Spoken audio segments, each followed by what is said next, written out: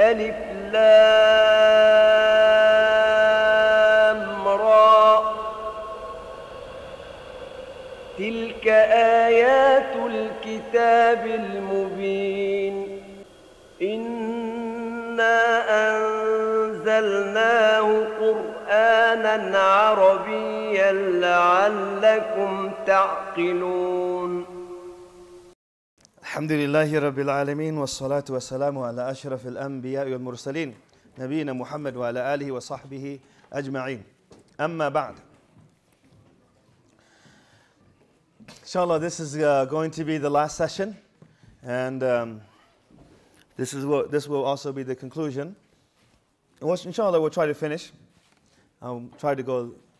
We won't finish the whole surah because the last the, the, source, the story of Yusuf itself ends before, um, at, um, before the, the, the end, because the end is the, the conclusion that wraps everything up in terms of, uh, you know, all the, the beginning and the introduction. They wrap everything up, and that's, that, that will take time for us also to, um, to elaborate. But this is a one day, so we don't have enough time to cover that, inshallah. Actually, what I normally, when I teach the story of Surah, Yusuf, the minimum is two weekends, actually. So we're going, well, there's so much more benefits. I, the hardest part today for me, you know what the hardest part for me today? Is not teaching it. It's not what to teach, it's what to teach, what, what to not teach. Like there's so many things like I want to tell you guys, but I don't have time. Let me get, let me, let, let's try to finish. And there's so many benefits. It's, it's difficult for me to actually teach. That's the most difficult part of today. Because I want, I, it's one of the things I, I love to do is to teach uh, like tafsir of the Quran. And of course, there's no better story than the story of Prophet Yusuf salam. So you have all of this that you want to give and you can't do so because we don't have the time. So inshallah, let's continue again. Let's finish up. Um, we're, we're towards the end, inshallah. So Prophet Yusuf um, salam is in, is in Egypt. And the brothers are trying to convince their father to allow them to bring Benjamin because if they don't bring Benjamin to Egypt, they're not going to get their ration or any ration whatsoever. And now they have opened up their, the, their loads and they have found all that which was all which they gave to the to the Aziz. The Aziz, of course, is now who? The Aziz is Yusuf alayhi salam. He's the minister. The Aziz has returned everything that they have. And so they come to their father and they said, they say that, look, father, everything has been returned to us. And now we have an opportunity to go back and, and, and get our ration again.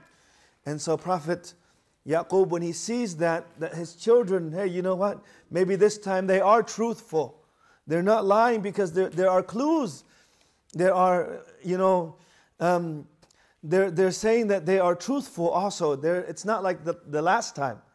And so he decides, he says, قال لا نرسله معكم I will not send him with you unless حتى تؤتوني موثقا من الله until you give me a solemn promise from Allah لتأتونني به إلا أن يحاط بكم you will come back unless you guys are attacked in other words surrounded and then attacked and destroyed in other words don't come back to me uh, don't, all of you have to come back to me unless you are attacked, in other words, unless you all die. That's the only way that you shouldn't return to me.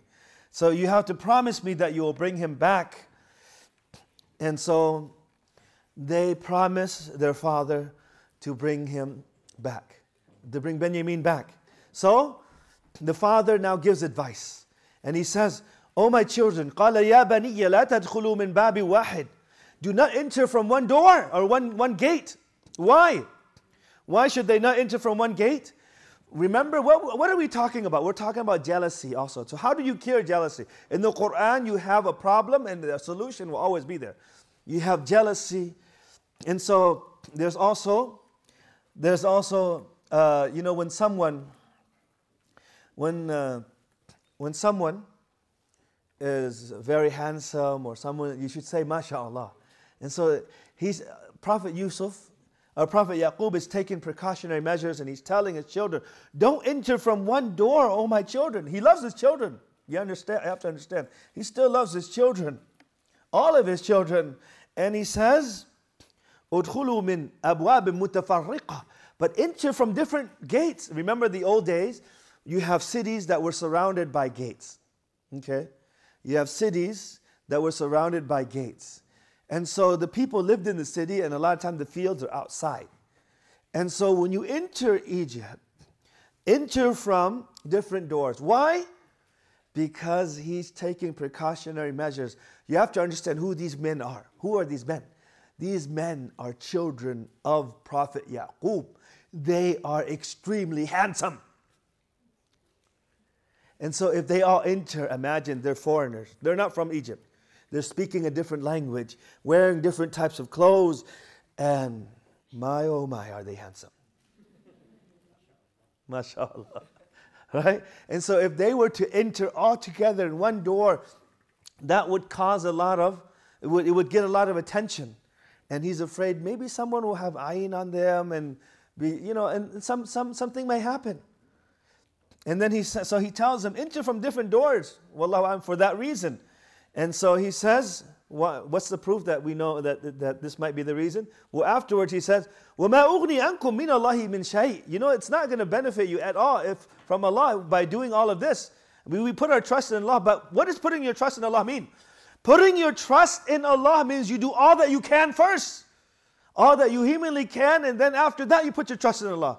You don't say, okay, I put my trust in, I want a child. I want a child, okay, I'm going to say in the masjid, make dua, and then Allah will bring a stork over and drop her baby. No, that's not how it happens, right? The stork is not going to come and bring you a baby. No. If you want to get married, oh, you want to get, you want to have a child, first of all, take the, take the measures to get married, okay? Alhamdulillah, after you get married, okay, then do what you need to do, okay? And then after that, are you going to have a child? Are you promised to have a child? No, but you have to do all that you can possibly do first. You can't just do nothing and expect, okay, uh, inshallah, the stork is coming. No. Take all the, do all that you can first. That, then you put your trust in Allah. Whether you get, you have a baby or not, that's up to Allah subhanahu wa ta'ala. Whether he, gives, whether he gives you a baby or not, but do all that you can first. And so Allah is telling us that Prophet Yaqub says, وَمَا أُغْنِي أَنْكُم مِّنَ اللَّهِ مِنْ شَيْءٍ All of this that we're doing will not avail any in the sight of Allah. إِنِ الْحُكْمُ إِلَّا لِلَّهِ Again, the authority the, is for Allah alone. عَلَيْهِ تَوَكَّلْتُ And I put my trust in Him. وَعَلَيْهِ فَلْيَتَوَكَّلِ الْمُتَوَكِّلُونَ And that's how I want, that's how someone who wants to put their trust in Allah should do. Anyone who puts their trust in Allah should do that. Do all that they can first. So, for example, you have a child, right? take precautionary measures. Don't put your child all over the internet and then, you know, like, oh, uh, okay, mashallah. Because there are people there who are going to see, like, they're going to be jealous. Or they not, not, not they, and, and so that's why you don't want to. You take all the precautionary measures, but at the same time, put your trust in Allah subhanahu wa ta'ala. And so when they enter Egypt, the way that their father ordered them to enter Egypt, Yusuf takes his brother in uh, to the side. And he tells them, إني, أخو, إني أخوك فلا تبتئس بما كانوا يعملون. I am your brother. So do not, you mean, see, there's a different interpretation of this particular verse, but do not worry of, when you see anything happening. فَلَا تَبْتَئِسْ من, or, it can also mean that whatever they used to do before will not happen again. In other words, don't worry about it. Now you're safe. Because some of the scholars say, said when Yusuf was gone, now they were harming Benjamin also. So now he's safe with Yusuf. But at the same time, you know, Yusuf, by Yusuf keeping Benjamin, what is that going to cause? It's going to cause greater hardship upon who? Upon the father. Why is he doing this? Why is he doing it? Inshallah, we'll find out quickly, inshallah. Allah subhanahu wa ta'ala says, فَلَمَّا جَهَزَهُمْ بِجَهَازِهِمْ جَعَلَ السِّقَايَةَ فِي رَحْلِ أَخِيهِ But when Binyamin, when now Binyamin knows that this is Yusuf, his, he knows that this is Yusuf, and Yusuf is telling him, whatever you see that's strange, you know, don't, don't overreact. Okay, don't worry about it. Don't overreact. Just, you know, just stay calm. And so when they are about to go, remember the Prophet Yusuf treats them very kindly. He is very, he is very hospitable. So he lets them stay. And all the people who come, he's very hospitable to them. And everyone knows the kind of person that Prophet Yusuf was. And so Prophet Yusuf salam, lets them stay in the palace also with them. And then when Prophet Yusuf sends them off with their loads, he puts the goblet of the king. And the goblet of the king, of course, is going to be is, is made out of very you know probably gold or valuable silver or you know something that's very valuable. He puts the goblet that belongs to the king in the the load that belongs to who? To Benjamin, right? to Benjamin, Benjamin.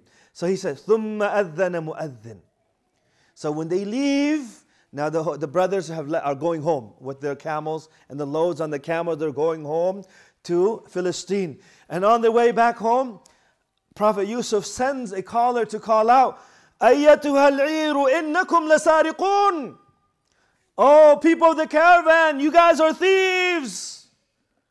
Okay, now if they really stole something, what would they have done when they hear that? Take off, right? But they haven't, they didn't take anything. They don't know what's going on. And so they say, قالوا وأقبلوا عليهم ماذا تفقدون he turn, They turn around and say, what is it that you have lost? قالوا نفقد سواع الملك Nay, we have lost the goblet of the king. ولمن جاء به حمل بعير وأنا به زعيم And whoever comes and brings, brings it back, then he will have another ration, and I am responsible for that. I'm, I have the authority to do so. And so, what do they say? Now they are being accused of stealing. The brothers of Yusuf are being accused of stealing. They say, قالوا تالله لقد علمتم ما جئنا لنفسد في الأرض وما كنا سارقين قالوا تالله by Allah Qalu, they say, By Allah, laqad alimtum. You guys know that we have not come here to cause mischief in the land. And you know that we're not thieves. Why? These are children of prophets. They are people of religion, right? People of honesty. You know that we're not that type of those types of people. And then Prophet Yusuf is asking them now. He's telling, he's asking the, the whole situation. The whole town is watching, you have to understand, okay? Everybody hears about it. It's a big incident here that has happened. The king has lost his goblet, and nobody else was in the palace except for these guys. So who else could have stolen?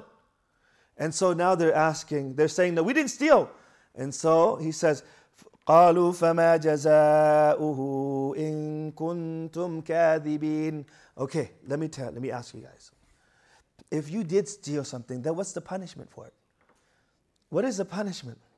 If indeed you were the people who stole. In other words, what are they asking? Okay, you guys are religious people, okay? You guys are the children of Yaqub, okay? You guys, you guys are who you guys, as you claim to be. Okay, in your Sharia, in your ruling, in your religion, remember the, the people of Egypt are following a different religion, and the children of Yaqub are following a different religion. So now they are being asked, okay, in your religion, if someone were to steal, okay, we catch you stealing, what is the punishment? What is the punishment? This is a very smart, smart point that he's making. What is the punishment? According to your ruling, forget about the king's ruling, forget about Egypt, the rule of Egypt, forget about the law in Egypt, the law in your land. What do you, how do you do it? So they say, and the rule, and he, Prophet Yusuf knows this, right? What is the ruling during that time? During that time, if a person, if a person was caught stealing, then the, the person who stole, when he's caught, he becomes a slave of the person who he took it from. That's the rule during the time of Prophet Yusuf. So who would be the one that took, still stole? So now if Benjamin is the one that took the goblet, what would happen to Benjamin? He would be a slave, he would have to stay in Egypt He would now be the property of the king. Uh, the property of the government Egypt. Now he's a slave. He has to stay. So they say, they say, they tell him, they of course they tell uh, Prophet Yusuf. قالوا فما جزاؤه إن كنتم كاذبين قالوا جزاؤه من وجد في رحله فهو جزاؤه. If the, the punishment for a person who does that is if whoever we find the goblet with, then he, is, he becomes the jaza, he becomes the recompense. In other words, he becomes that slave. كذلك نجز الظالمين and that's how we deal with, the, uh, with those who do wrong. And so, now Prophet Yusuf is checking the load. He's checking and checking. Who does he check first? He doesn't check Benjamin, he checked all the other loads first. Why? Because if he, if he would have gone straight to Benjamin's load, what would happen?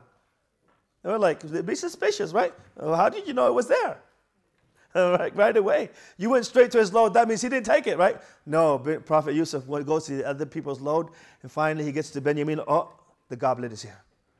The goblet, they find he ثم استخرجها من وعاء أخيه. He takes the goblet out, and it's in the load of Yusuf, and the brothers are stunned. Would Benjamin, Benjamin do something like that? This is out of character, right? They know that. It it's something that he wouldn't do. But at the same time, they have no doubt that they're wondering why is he doing this. But what is it that gives way? That, that, that, that really says, you know, he, the brothers are believing like, oh, he actually did it. Anybody know what is it? Now you take out the goblet from the load of, Yusuf Benjamin. If you were Benjamin, what would you do? What would you do? You would say, I didn't take it. Somebody put it there for me. Wouldn't you say that? I didn't take it. I don't know where, how that came there. Honestly, wallahi, wallahi, wallahi, I didn't take it. Right? When they take it out from Benjamin's load, what does he do? Why does he do that? When Prophet Yusuf told them, hey, you see something strange happening. Don't calm down. Just, just, just be calm. Don't say anything. So now they're thinking, wow, Huh, that's really strange, right? But now they're in trouble. Why are they in trouble? And you know what they say also? Prophet Yusuf is sitting there. And then the brothers, they speak to Yusuf now. Uh, they speak to Prophet Yusuf. They don't know it's Yusuf, of course. They say,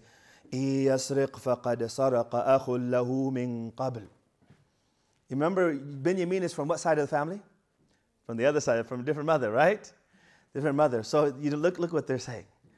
They say, if he stole, you know what? His brother used to be a thief also. Ooh. I'm telling you, if you were in this position of Yusuf, what would you do? Ooh. What are they saying? They're saying that's not our side of the family, that's their side of the family right there. They are thieves. Who is he calling a thief? Who are they calling a thief? Yusuf. Where's Yusuf? Oh, if you were there, what would you do? What would you do? Probably inside, you're like burning, right? Oh, guys, you guys, oh, you did so much already, but you know, Allah subhanahu wa ta'ala then says, فَسَرَّهَا يُوسُفُ فِي نَفْسِهِ وَلَمْ يُبْدِهَا لَهُمْ But he kept it in, didn't want to say anything to them. He says to them, though, he says, قَالَ أَنْتُمْ شَرٌّ مَكَانًا So don't say that. I know you guys are worse. He says, you guys are worse. How did you know? He's just saying that. It's like sort of like almost cryptic, right?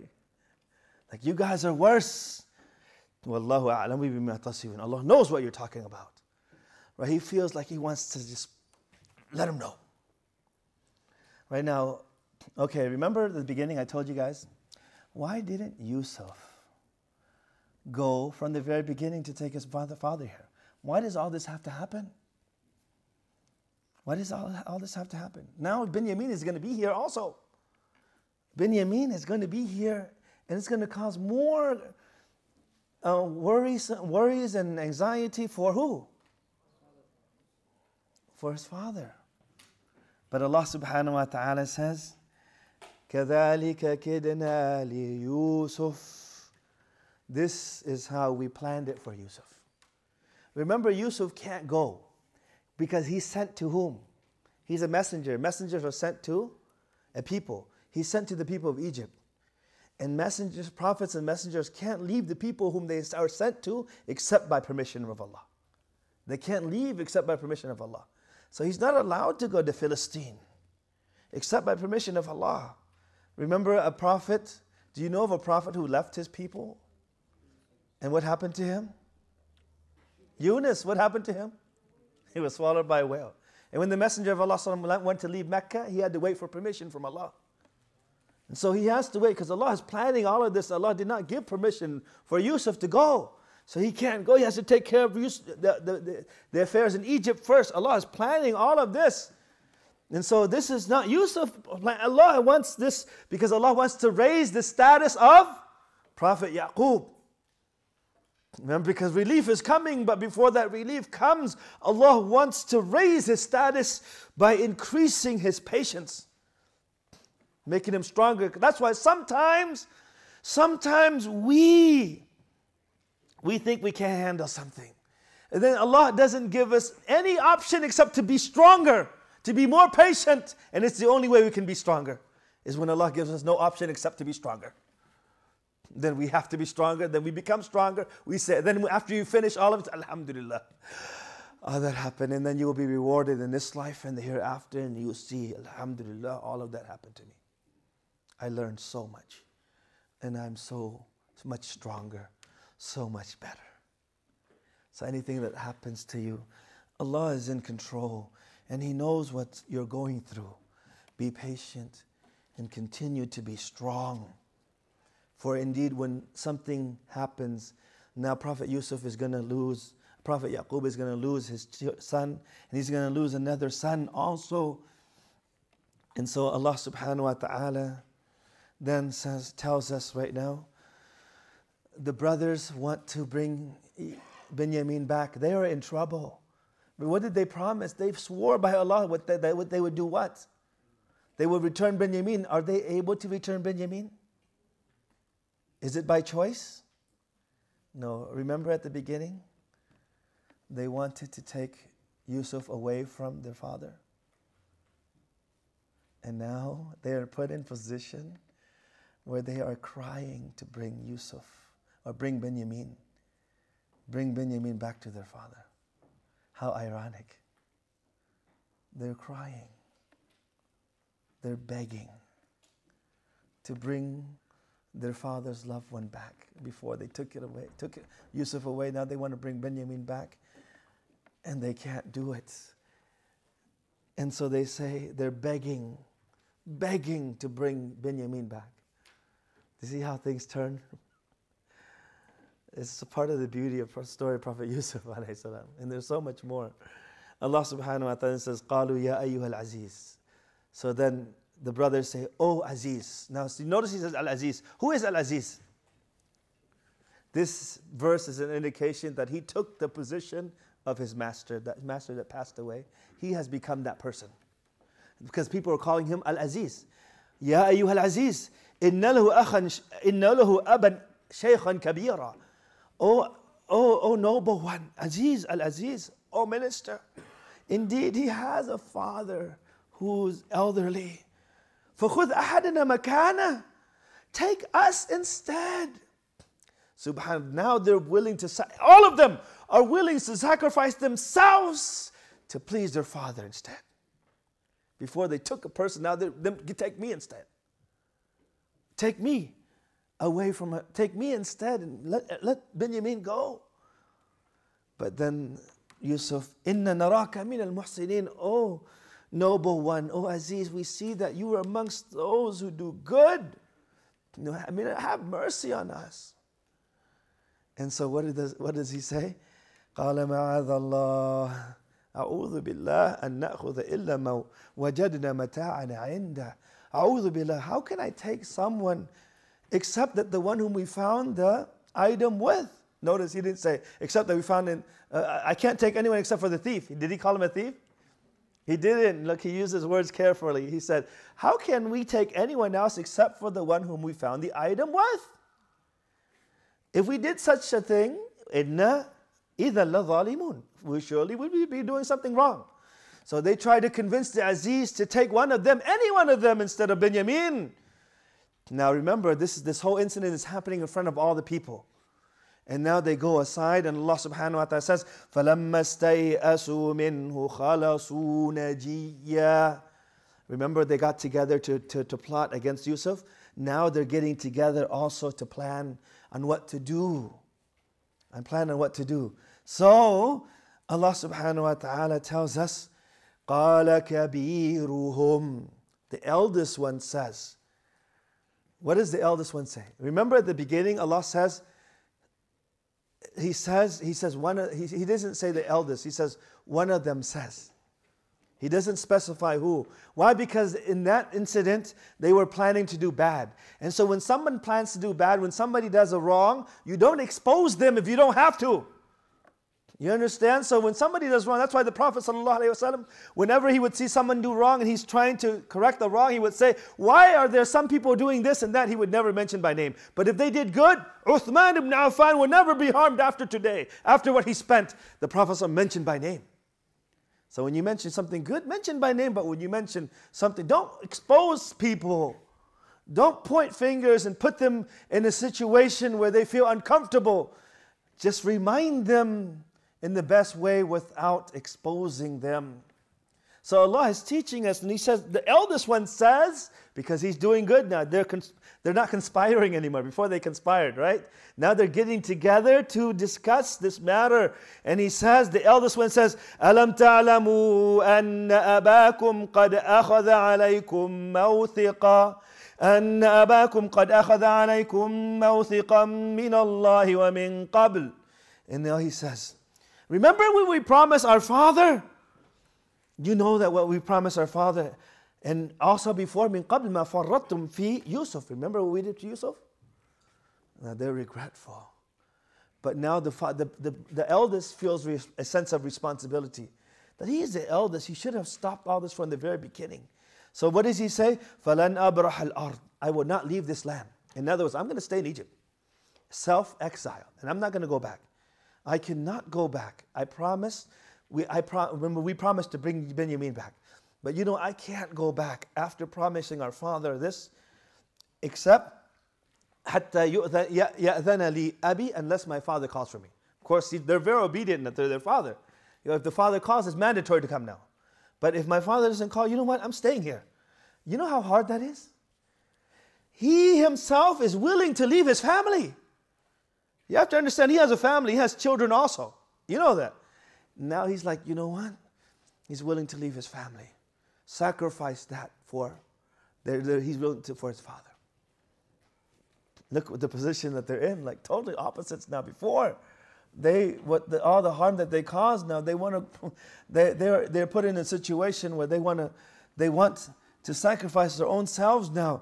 Oh, yahkum Allahu li, or Allah decrees in this affair. In other words, or for some reason, some way, we can bring ben, I can bring Benjamin back with me. I'm not going to. I'm going to stay here. وهو خير الحاكمين. Then he tells him, he says, go back to your father. Go back to our father and tell him that that our, our that your child stole. I mean that Benjamin stole. And وما شهدنا إلا ما علمنا. And tell him that we only well that maybe maybe Benjamin Yaqub, Prophet Yaqub is going to ask him, right? Ask him, well, how did this happen? He says, well, this is what happened. And we told them about the rules. And they'll say, ما شهدنا إلا ما علمنا. And so when we were asked, we only gave the ruling that we knew. We ask us about our ruling in our deen, in our religion. This is the rule during our time. So that's we only gave what we knew. We didn't know this all this was going to happen. We did not know that all of this was going to happen. And so the father comes back. So now that, that's what they do when they come back to tell the father. And they are trying the, to convince their father. And who's, uh, who is gone? Who, does the father, who has the father lost? How many people now? How many people have returned? How many? No, not 10. Nine. Yusuf, there are 12, right? But Yusuf is in Egypt. Benjamin is in Egypt. Who else is in Egypt? The eldest, right? Yes, Reuben, of course, that's in the, in the, in the, in the Bible. It's Reuben. But um, of course, remember all these names. The reason I don't mention all, some, all, all of these names is it's just these are things that we get from the people of the book. If you want to mention them, you can mention them. We do not deny them, nor do we accept it. Okay? And so, these were the three people whom Prophet Yaqub loved the most. So you thought it was hard enough to lose Yusuf. It's even harder to lose Benjamin. It's also hard to lose. You thought that that was enough, that he could, you know, that was it. Remember how many years? This is many years later, almost 40 years now. We're talking about 40 years separated. And now they have come back to their father, and their father, of course, doesn't believe them. They say, وَاسْأَلِ الْقَرْيَةَ الَّتِي كُنَّا فِيهَا If you don't believe us, ask the, the, the town. Ask the town that we were in. The people, everyone witnessed it. Everyone was around. Can he go and ask the town? He's too old to travel. He's too old to travel back and forth. And for no reason just to ask, no, he can't. He's too old. It's too difficult for him. واسأل القرية التي كنا فيها والعير التي أقبلنا فيها. If you can't, then ask the caravan that came with us, because there were people who also joined them on their trip to Egypt. So ask those people also. We are telling you the truth. وَإِنَّا لَصَادِقُونَ What did they say? Surely we are telling you the truth. What did they say the first time?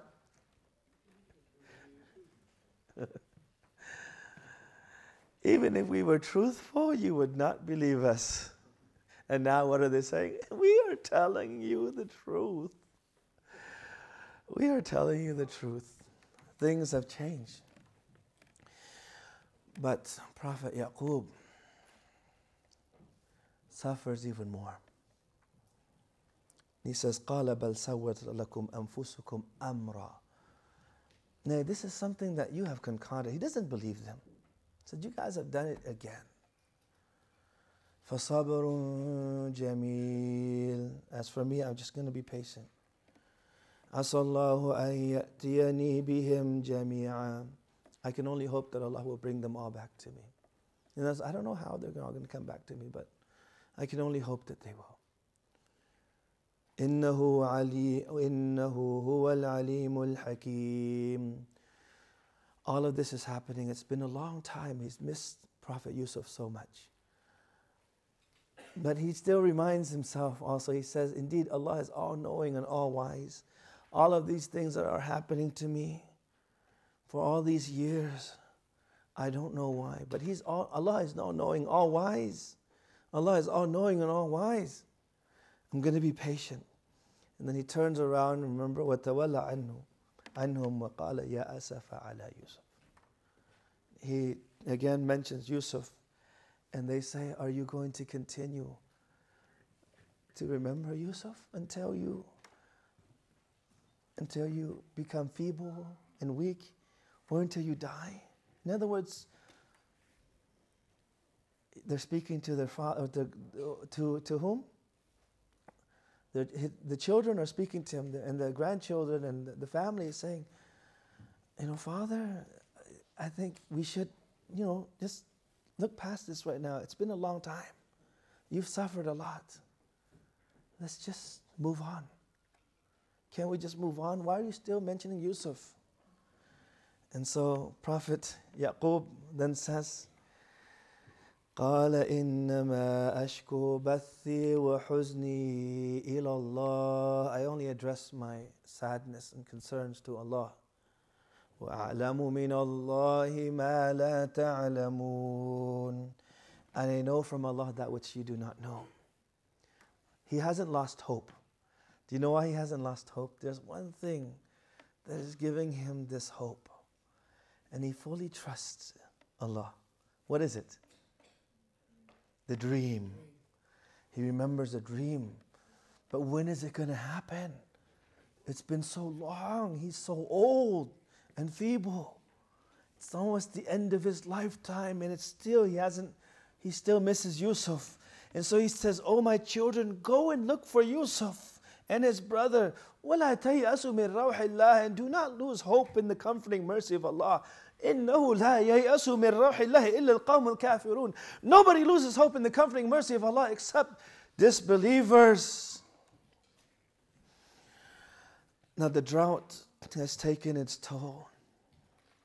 They have run out of food and they have no merchandise to trade for grain except for a few measly items and they are coming to Egypt begging because they don't even have enough money to buy grains.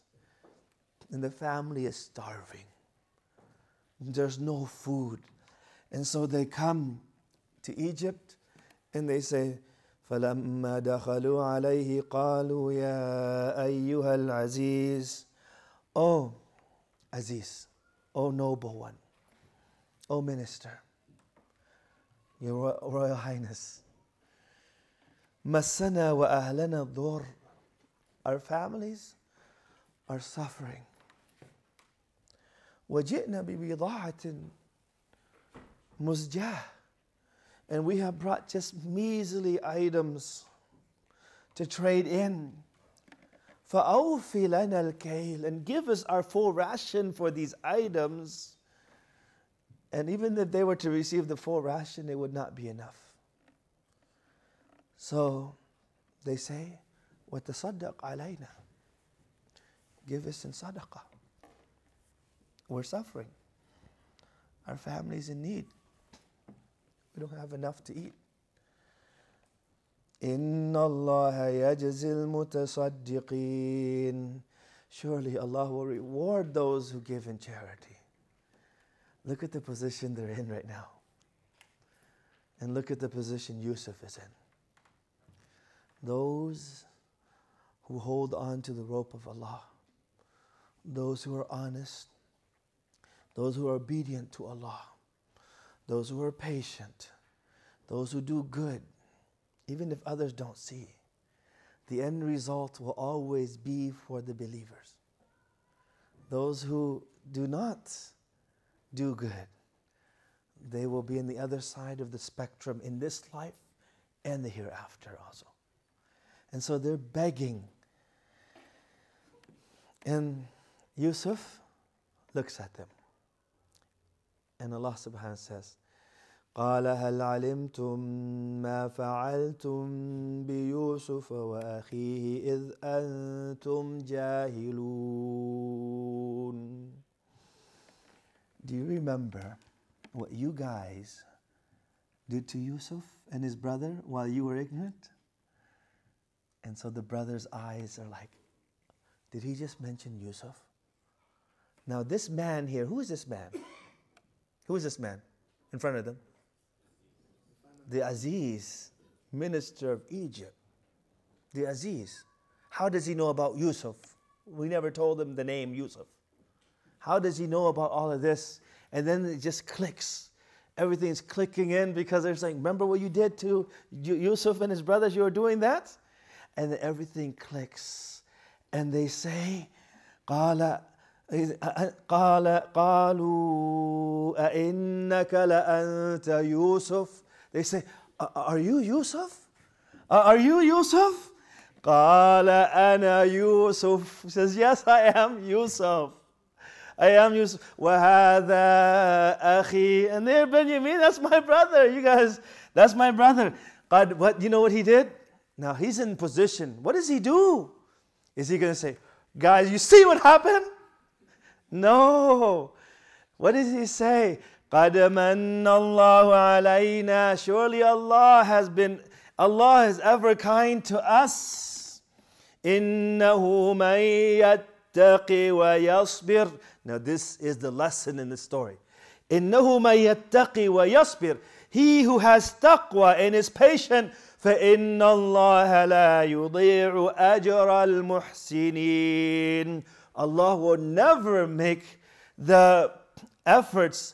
of the muhsinin go to waste.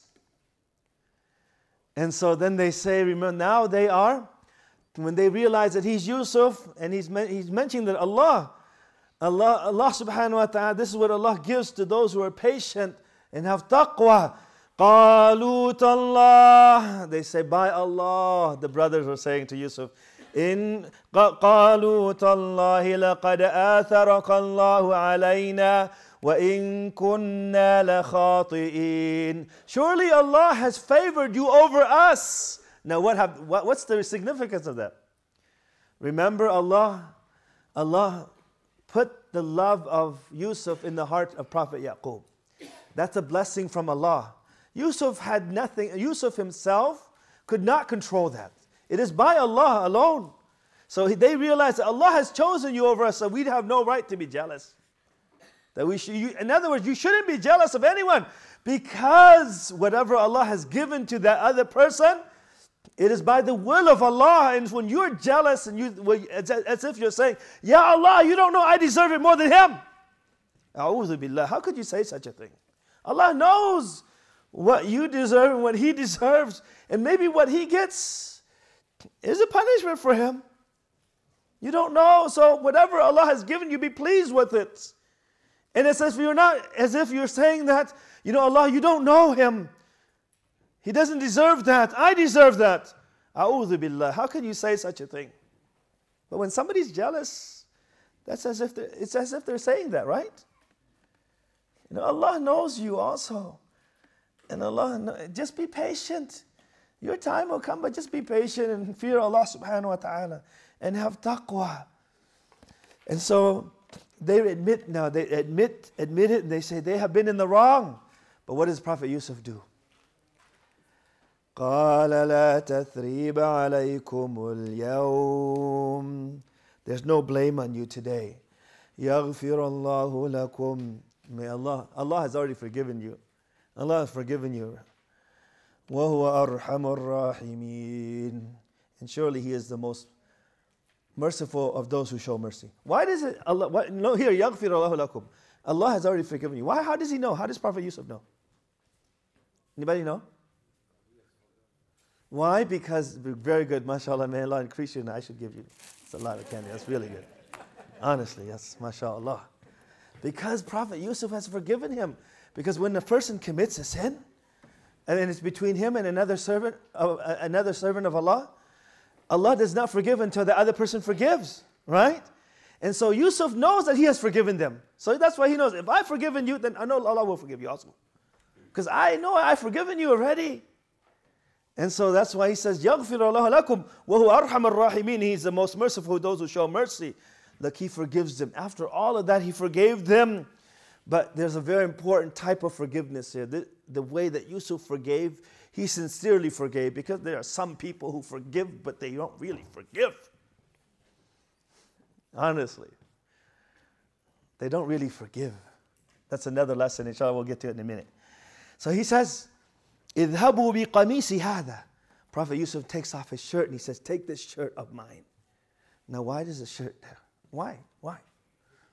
Remember, the shirt comes again and toss it in the face of my father, and he'll be able to see again. Remember, he had become blind because of his incessant crying, because of his supplication to Allah. Now, okay, if someone's father were, is, is, blind, would you be? Should you take your shirt off and throw it and put it on the face of your father? Would he be able to see again? Could you do that with a normal person? Then why did he do it? What's the, what's the thing here? Anybody know why? Anybody know why? Miracle? Yes. Well, can I do that and hope for a miracle also? What is it? The smell of Yusuf? It is the smell of Yusuf, but what, I smell good too, inshallah.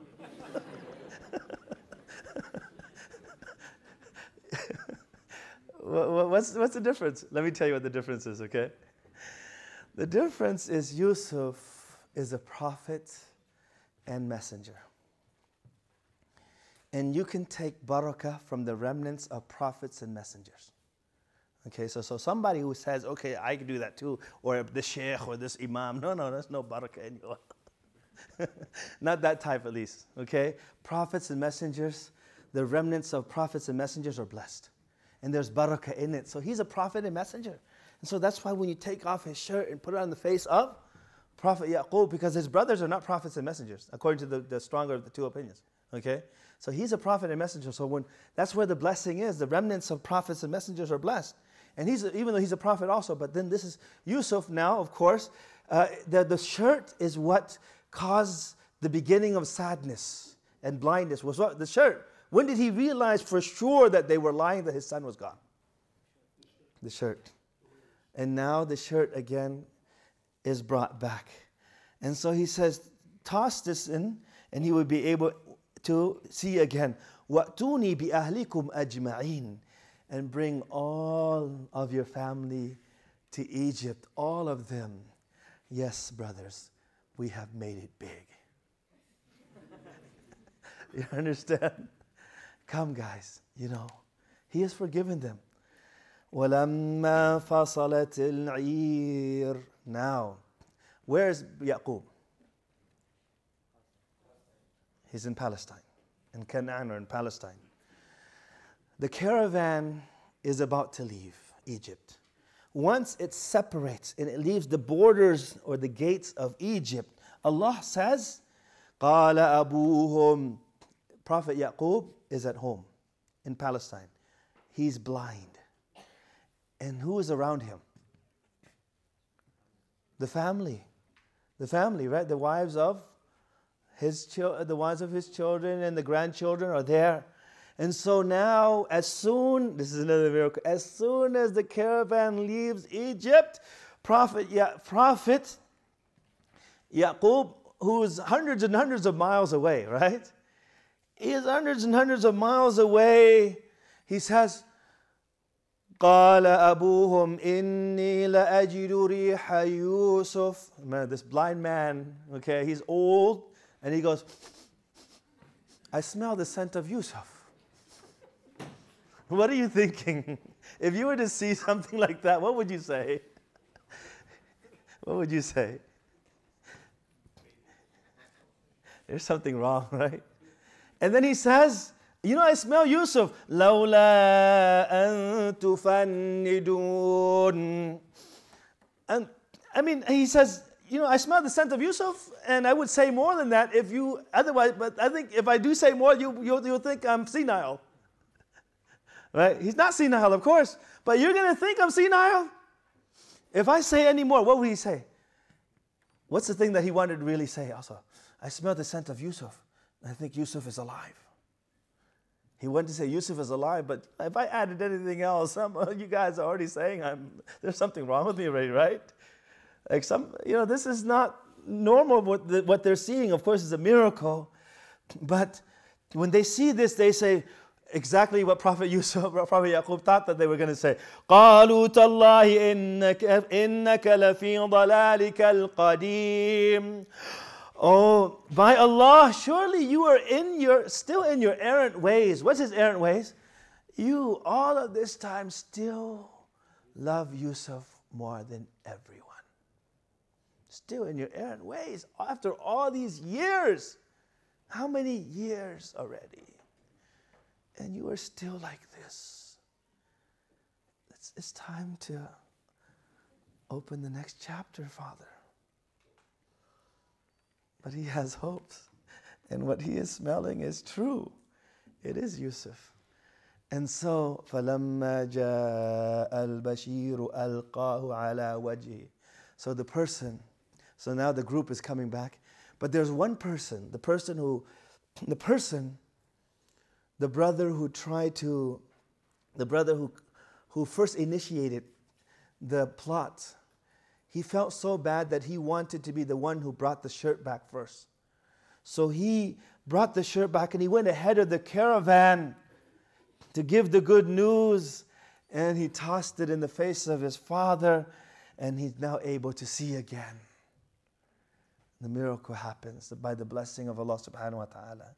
And then after the shirt is put on his face and in his eyes, he's able to see again. And he says, قال, after everything, he said, oh, Yusuf is alive and everybody's alive, and now this is what happened. قال ألم أقل قال ألم أقل لكم إني Did I not tell you إني أعلم من الله ما لا تعلمون Did I tell you that I know I know that which you did not know? What was it? The dream. He still had hopes because of the dream. And so now the brothers have all arrived in Palestine and they're seeking forgiveness for their father for all the wrong that they did.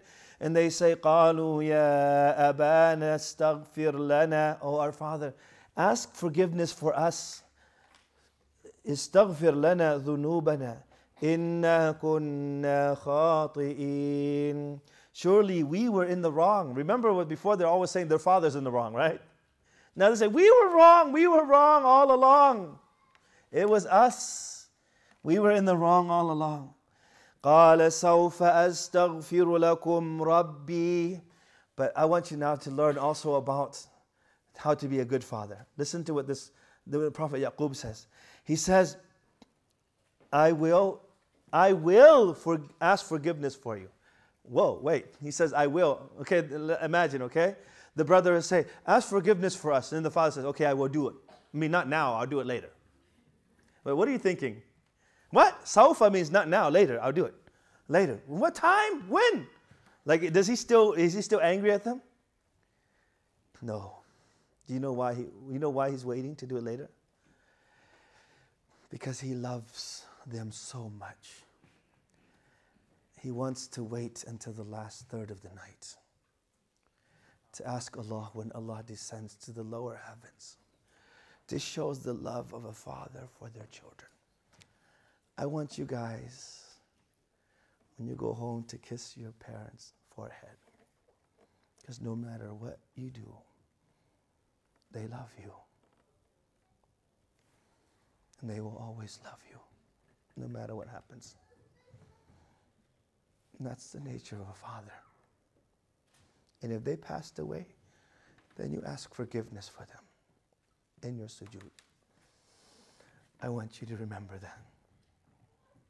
Look at the Father.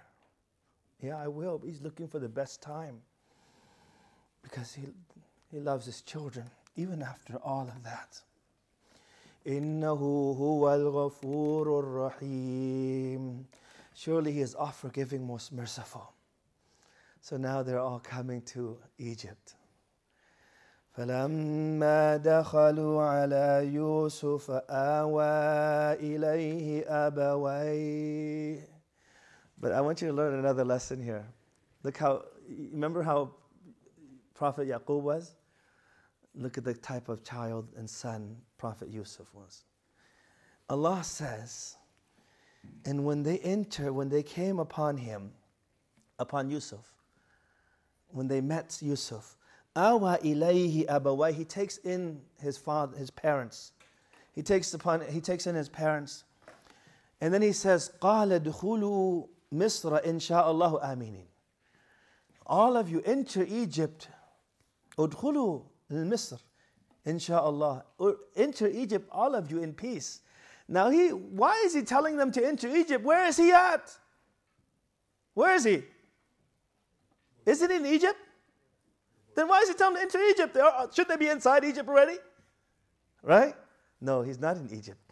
You know where he is? He missed his father so much that he's waiting for his father outside the gates. And he wants to meet them. That's the type of son he was.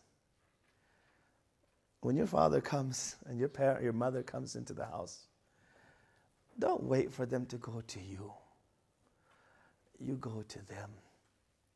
You give salams and you kiss them on their forehead. Take them in. Tell them that you love them.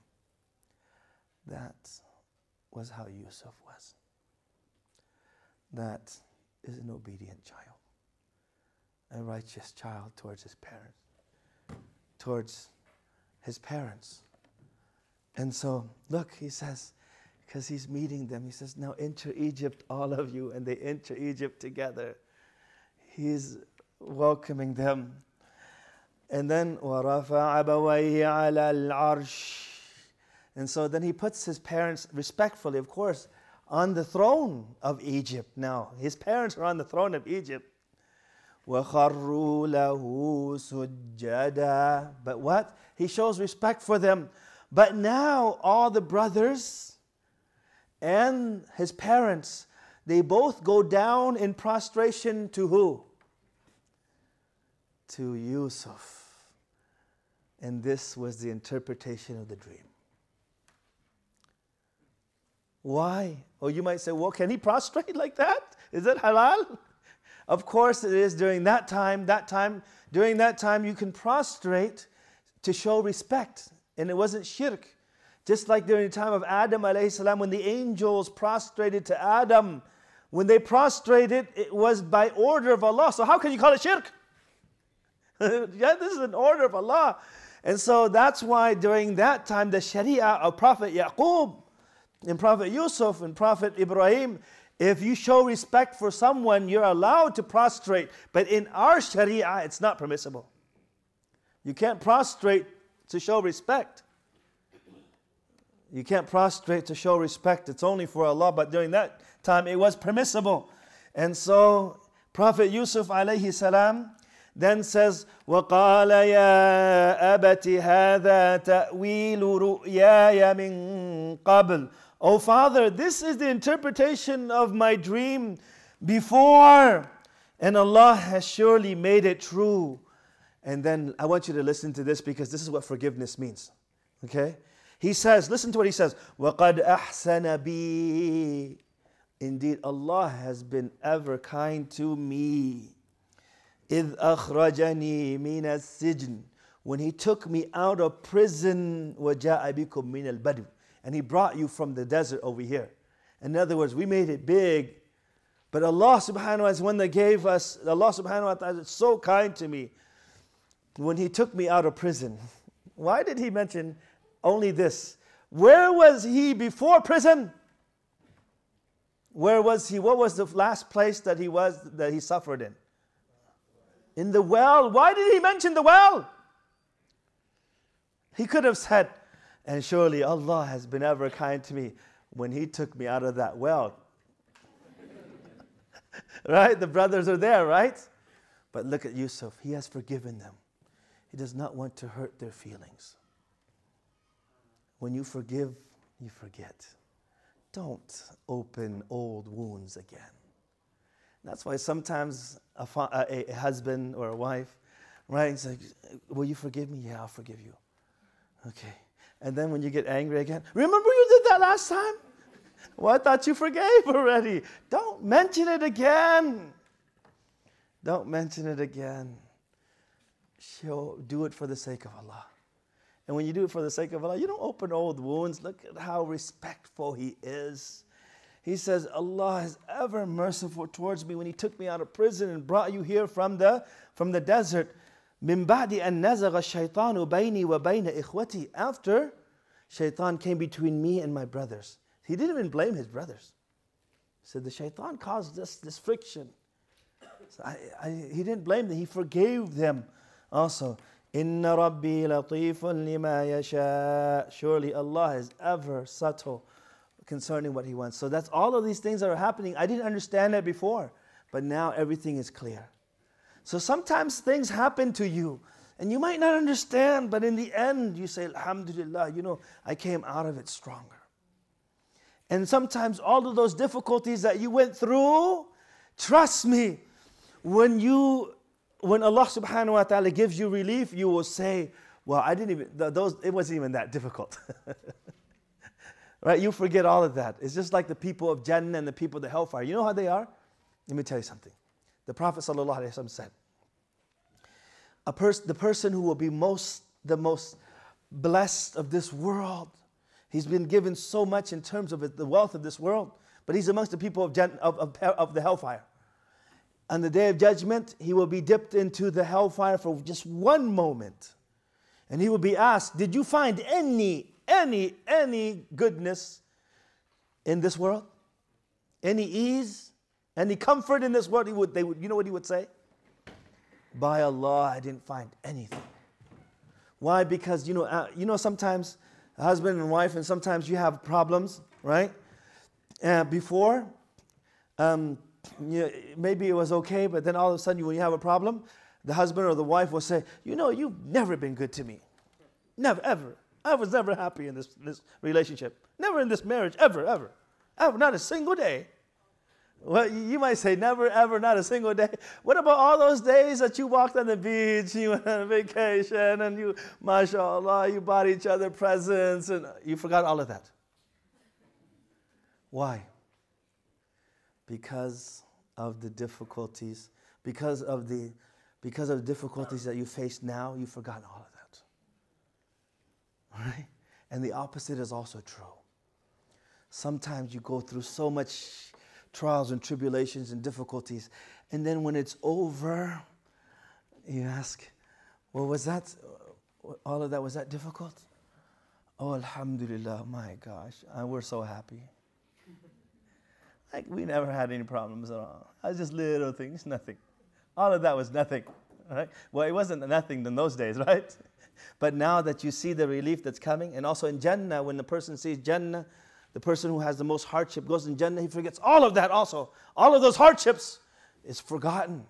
So now they're in a situation where Prophet Yusuf is elevated in that status. And what else is left after all of that? He makes dua to Allah. ربي قد آتيتني من الملك وعلمتني من تأويل الأحاديث Oh my Lord. Indeed, of what you have given me of this dominion, the mulk, this, the kingdom. وعلمتني من تأويل الأحاديث and you, teach, you taught me the interpretation of dreams. Fatir samawati wal ard. Originator or creator of the heavens and the earth. Anta waliyi fid dunya. You are my protector in this world, wal akhirah, and in the hereafter. What's the only thing left? And what's the most important thing now? After you go through all of that, the most important thing, of course, is to die as a Muslim, to die with La ilaha illallah, and that's the true success. Tawaffani musliman. make me die as a Muslim وألحقني بالصالحين and help me to join in the company of the pious. And so, this is the story of Yusuf, alayhi salam, that we went through really quick. There's so much more benefits. And uh, by the way, there's a class on story of Prophet Yusuf. It's a seminar on it that you get the details, the rulings relating. There's so many things that I left out. Remember, I said there's so many things I, I want to tell you guys, and so many other aspects.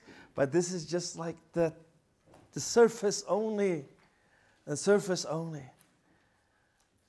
It's like learning, you know, ABCs in comparison to all the English language. okay? And the beauty of the Quran is you can read over and over again, it becomes more beautiful and you, you, you get more, more benefit also. There's so much, it's such a miracle. The story of Prophet Yusuf is a miracle in itself. And so, just as Allah subhanahu wa ta'ala has gathered here, we ask Allah subhanahu wa ta'ala to also gather us in the highest level in paradise.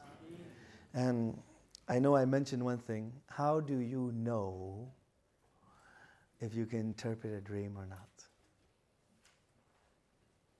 Right? You want the answer? No, don't worry, I'm not going to tell you. I'll take the seminar. I could, but that would be so cruel. how do you know? Okay. First, it's a gift from Allah subhanahu wa ta'ala. But how do you know if you can't interpret dreams? Well, the thing is, everyone has dreams. You have relatives who have dreams. So when you have a dream, just try to interpret. Maybe this is, this is what it means. You say, maybe what it means. I think this is what it means. And then you get it right.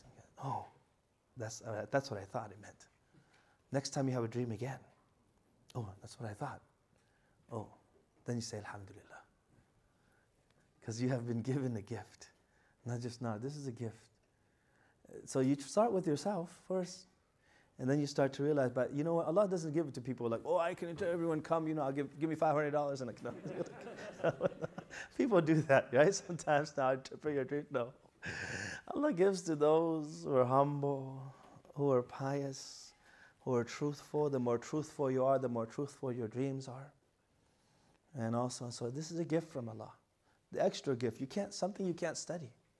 You can't study. You and if you have a dream, find people who can interpret dreams. And it's never perfect. Nobody's like the best of this ummah in interpreting dreams is the Prophet Sallallahu Second was um, Abu Bakr. And the Prophet ﷺ told Abu Bakr, to, Abu Bakr one time, he said, Let me interpret this dream. Let me, let me try it, let me try it. A companion came and he had a dream, and Abu Bakr interpreted almost everything correctly except for the last point, except for one point. And if Abu Bakr could also make a mistake, what about us? and that, so that's why you don't really know, but it's glad tidings, glad tidings. And, sometimes, and when it's near the day of judgment, the believers will have truthful dreams. They have a dream and it will come true.